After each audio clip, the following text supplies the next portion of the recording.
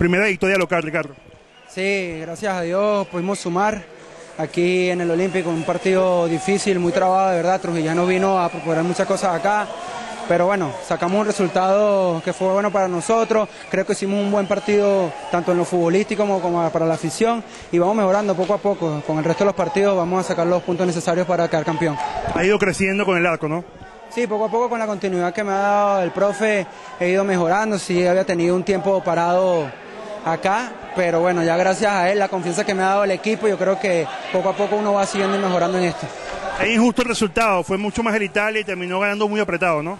Sí, hay que ser honesto, creo que fuimos superiores, tuvimos, creamos muchas ocasiones de gol, bueno, no las concretamos, pero bueno, así es el fútbol. A veces se gana sufriendo y lo ganamos y lo más importante fue que nos llamó tres puntos, primero que nos suma a nosotros y, segundo que por fin logramos ganar en el Olímpico, que era una cosa muy importante que necesitábamos para, para esta vitrina. Se sigue en carrera. Se sigue en carrera, se sigue luchando hasta el final, hasta que no vemos el último partido, todavía no estamos, todavía estamos por opción para, para el título. Gracias, Ricardo. No, gracias a ti.